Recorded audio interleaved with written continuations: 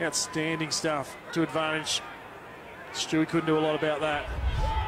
There was a little boot on the back, but I think they uh, may have been either mates or teammates, probably at the power. Um, so I think it was just a bit in bit of fun. Would have played a lot of footy together with the Magpies, so obviously. Mm.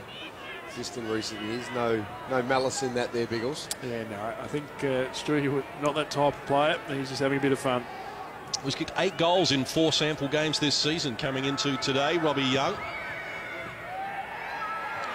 Likes it off the boot, punches the air with delight, and the Magpies are looking as though they're going to the big